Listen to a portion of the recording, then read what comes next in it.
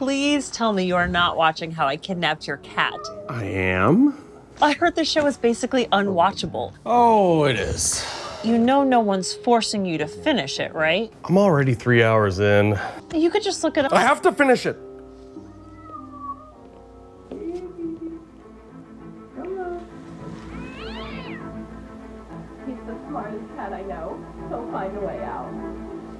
He escapes. Saw it online.